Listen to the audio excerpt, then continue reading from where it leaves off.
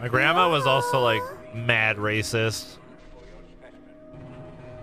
Every time we'd go out and like to like a restaurant and like if there was like a not white waiter serving us, she'd always refer to them as like those people.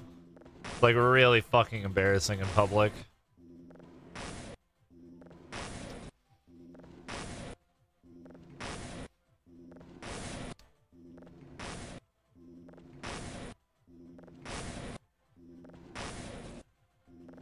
It's okay, she's dead now.